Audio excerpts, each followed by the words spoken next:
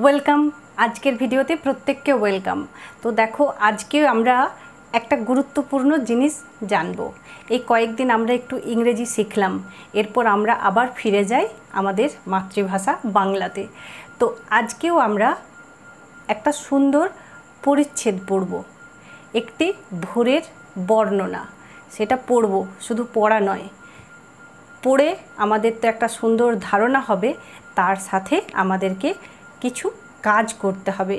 তো কি কাজ করতে হবে সেটা আমি তোমাদেরকে পরে বলছি। আগে যে পরিচ্ছেদটা আছে সেটা একটু পড়ে নিই। আমরা দেখে নিই ভোরের সুন্দর বর্ণনাটা কীভাবে দেওয়া আছে। তাহলে চলো একসাথে মন দিয়ে একটু দেখে নাও। দেখো, এখানে সুন্দর একটা ভোরের বর্ণনা আমি লিখে রেখেছি। আগে পড়ি, তোমরা ভালো করে একটু মন দিয়ে শোনো। এখানে বলা আছে, দেখো, ভোর হলে আকাশের ধ্যান ভাঙে। সুন্দর একটা বর্ণনা। ভোর যখন হয়, আকাশ যেন ধ্যানমগ্ন অবস্থা থেকে স্বাভাবিক জগতে ফিরে আসে। ছিন্ন হয় অন্ধকার। যখন ভোরের আকাশে সূর্য ওঠে, আলো ফোটে, তখন অন্ধকার দূর হয়ে যায়। অন্ধকার যেন ভেঙে যায়, ছিঁড়ে যায়, ছিন্ন হয়ে যায় অন্ধকার। জন্ম নেয় নতুন দিন। প্রত্যেক রাত্রির পর আসে একটা সুন্দর দিন, একটা নূতন দিন।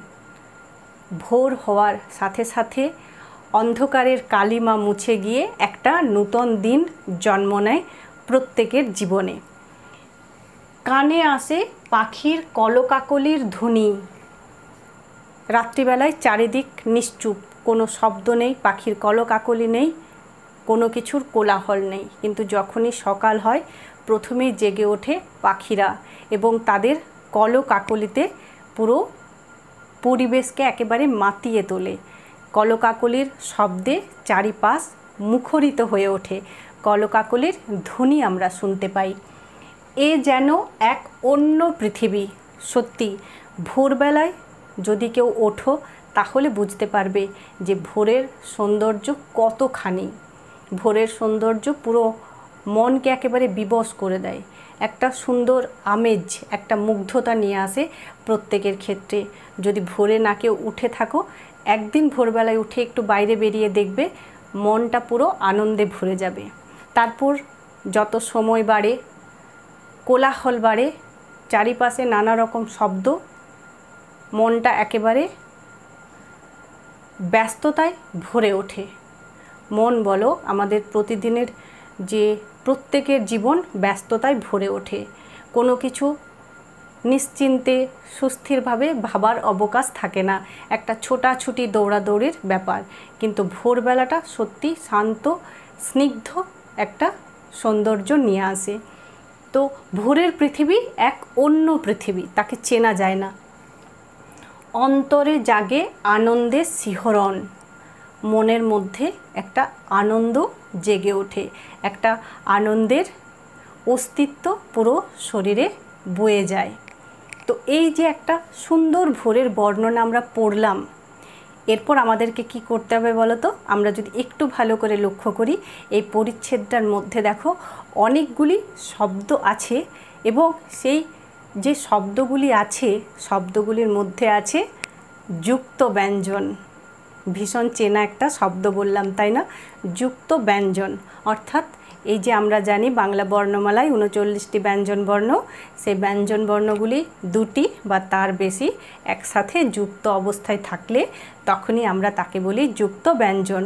এর আগে অনেক ভিডিওতে আমি যুক্ত ব্যঞ্জন সম্পর্কে আলোচনা করেছি।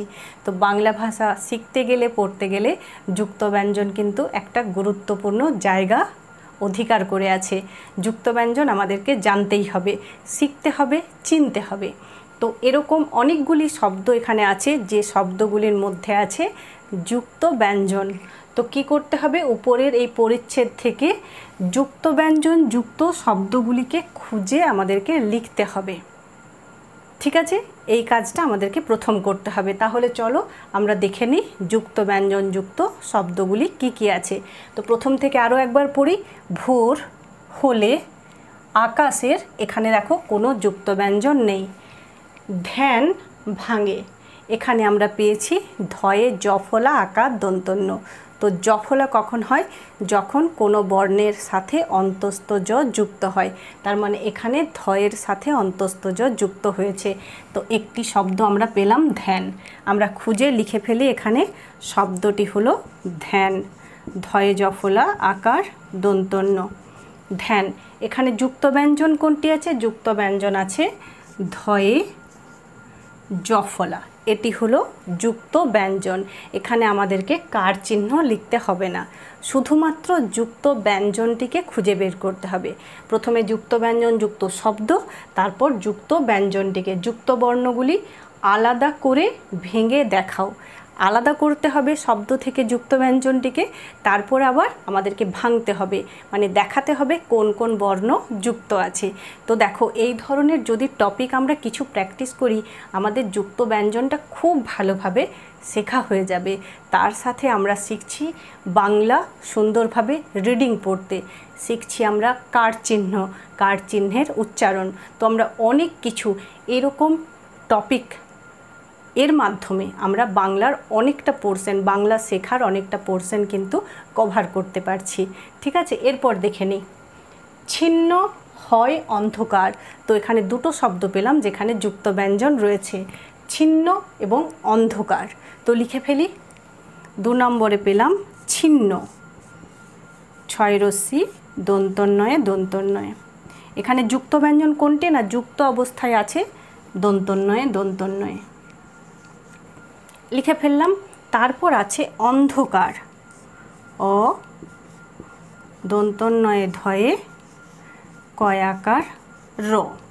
তো এখানে যুক্ত ব্যঞ্জন হলো দন্তন্নয়ে ধয়ে। ঠিক আছে? এটাকে আমরা ভেঙে দেখাবো এরপর। এরপর, জন্ম নেয় নতুন দিন। তো জন্ম, এখানেও একটি যুক্ত ব্যঞ্জন আছে। তাহলে লিখে ফেলি, জন্ম। বর্গীর্য দন্তন্নয়ে ময়ে।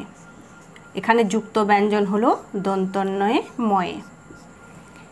তারপরে দেখো, কানে আসে কোনো যুক্ত ব্যঞ্জন নেই, পাখির, কল, কাকলির কোনো যুক্ত ব্যঞ্জন নেই, ধ্বনি, ধয়ে বয়ে দন্তন্নয় রশ্মি। তো এখানেও একটি যুক্ত ব্যঞ্জন পাচ্ছি, ধয়ে বয়ে। তাহলে পাঁচ নম্বর হলো ধয়ে বয়ে দন্তন্নয় রশ্মি ধ্বনি এই শব্দটি হলো যুক্ত ব্যঞ্জন যুক্ত এবং যুক্ত ব্যঞ্জনটি হলো ধয়ে বয়ে। ঠিক আছে, ধয়ে বয়ে।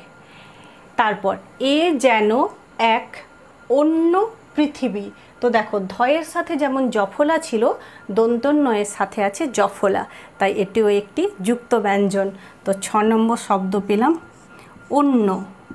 অ দন্তন্নয়ে জফলা।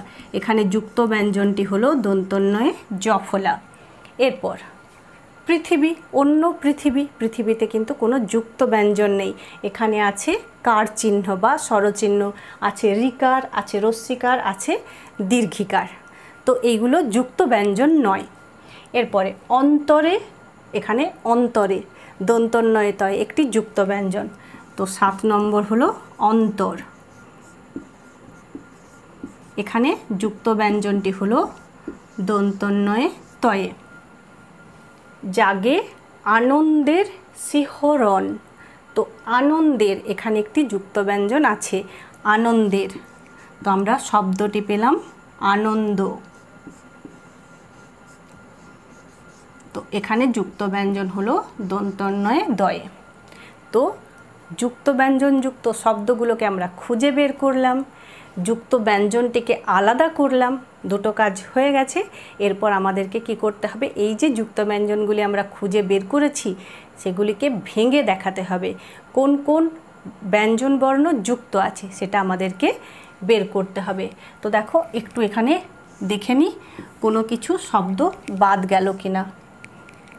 ধ্বনি, অন্য, অন্তর, আনন্দ। আর কোনো যুক্ত ব্যঞ্জনযুক্ত শব্দ কিন্তু বাদ গেল না। সমস্ত শব্দগুলো আমরা এখান থেকে খুঁজে বের করে নিয়েছি।